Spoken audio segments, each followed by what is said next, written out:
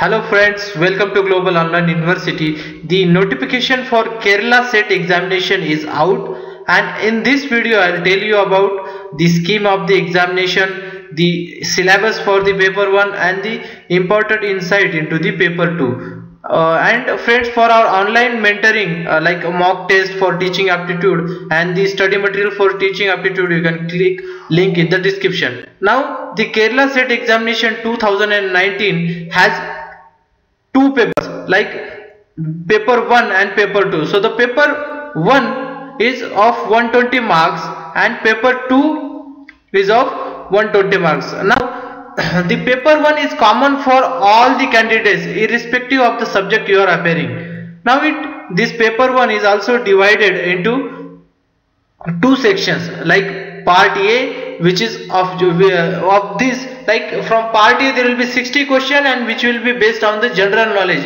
And part b will be of teaching aptitude. So from uh, this section 60 questions. So total there will be one 20 questions for 1 mark each. Now all the questions are compulsory for the paper 1 and for paper 2 this test will also have 120 questions. And here the uh, syllabus or the uh, question uh, will be from the subject of your specialization in the post graduation level. So remember this. Now in detail so as i told that there will be 120 questions for paper 1 and 60 questions from part A and 60 from part B.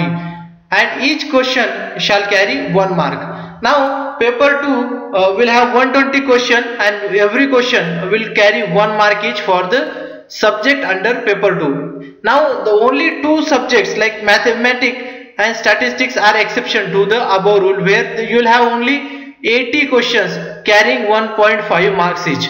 Uh, so friends this was about the paper 1 and paper 2 now moving on to the important dates so friends the online registration uh, has started from the 1st of the feb and it will go on till 15th of the feb so friend the time is very limited. Uh, for the friends who have not applied they should uh, apply before the 15th of february.